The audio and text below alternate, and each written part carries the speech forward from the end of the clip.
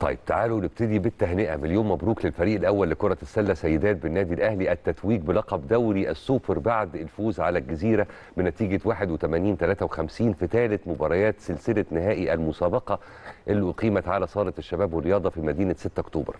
قدم الحقيقة الفريق عرض قوي جدا ونجحوا في فرض سيطرتهم على مجريات المباراة بفضل الدفاع القوي والهجوم السريع وكمان الرميات الثلاثية. عشان في النهاية يحققوا فوز مستحق ومنحهم طبعا اللقب. شهدت هذه المباراه تحلي لاعبات النادي الأهلي في جميع فترات المباراة بالسرعة والدقة في تنفيذ الهجمات والتركيز الشديد في الدفاع مناطق الدفاع والهجوم. وده طبعا ساعد الفريق كتير جدا على إحكام السيطرة على أحداث اللقاء. وبالتالي يعني حسم الفوز بهذه المباراة. طبعا مباريات الدور النهائي للبطولة بتقام بنظام ال best of five يعني الفريق اللي بيفوز في ثلاث مباريات هو اللي بيتوج باللقب. وطبعا سيدات سلة النادي الأهلي فازوا بالمباريات الثلاثة الأولى ليضمنوا التتويج بلقب الدوري. وعقب نهاية اللقاء تسلم الجهاز الفني واللاعبات كأس البطولة وكمان ميداليات المركز الأول. حصلت حاجات حلوة كتير في هذا اللقاء أثناء وبعده. تعالوا ناخد فكرة كده بسيطة عنه من خلال هذا التقرير ونرجع نكمل. اتفضل.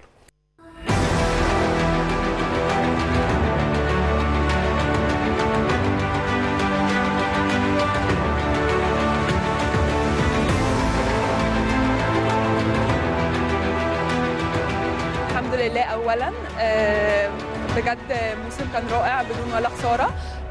أحب أشكر الجهاز الفني والفريق على التعب اللي تعبوه معانا. وبدون يعني اجتهاد الفريق وإن هم بيساندوا بعض ما كانش زماني أخدت الجوائز دي. فالحمد لله وبجد كان موسم رائع الحمد لله. جيم 2 يعني استهترنا شوية بالماتش ان هو إحنا كده كده كسبانين في أي وقت. فالكابتن عمل معانا اجتماع وقال لنا مفيش استهتار وإحنا لازم إحنا هدفنا السيزون ده إن إحنا نلعب كل البطولات ونكسب بدون أي هزيمة. نكسب كل المباريات بدون أي هزيمة. فنزلنا الماتش من من البداية مفيش هزار مفيش استهتار. من أول دقيقة في الماتش لغاية آخر ثانية وإحنا بنلعب بجد علشان كلنا نبقى طالعين فرحانين وبالمكسب وكل حاجة. فالحمد لله يعني ربنا وفقنا.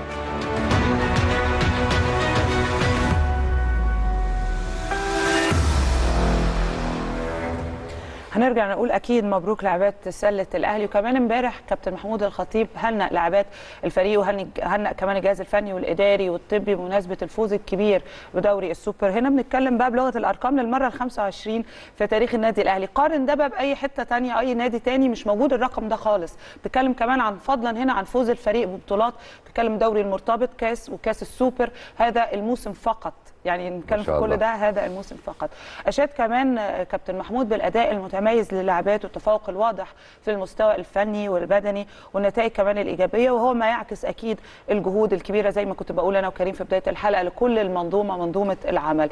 قال كمان إن الفوز بالبطولات الأربع بيضاعف يعني من المسؤوليات الملقاة على عاتق الفريق وجهازه لإسعاد جماهير الأهلي التي لا تتوقف عند الفوز ببطولة أو أكثر وإن ده بيحتاج إلى جهود مضاعفة وتركيز كمان مستمر وتعاون بين كل العناصر حتى يحافظ الفريق على مسيرة الانتصارات ويظل في المكانة التي يستحقها.